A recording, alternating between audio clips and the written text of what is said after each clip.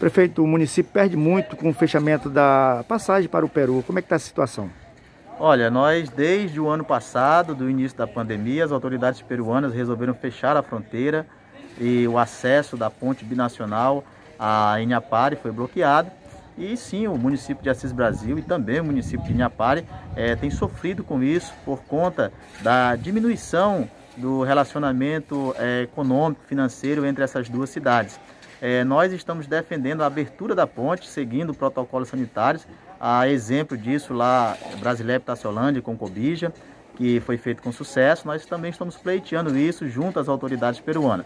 No entanto, o governo central do Peru é, determinou que assim ficasse a ponte fechada até o mês de setembro deste ano.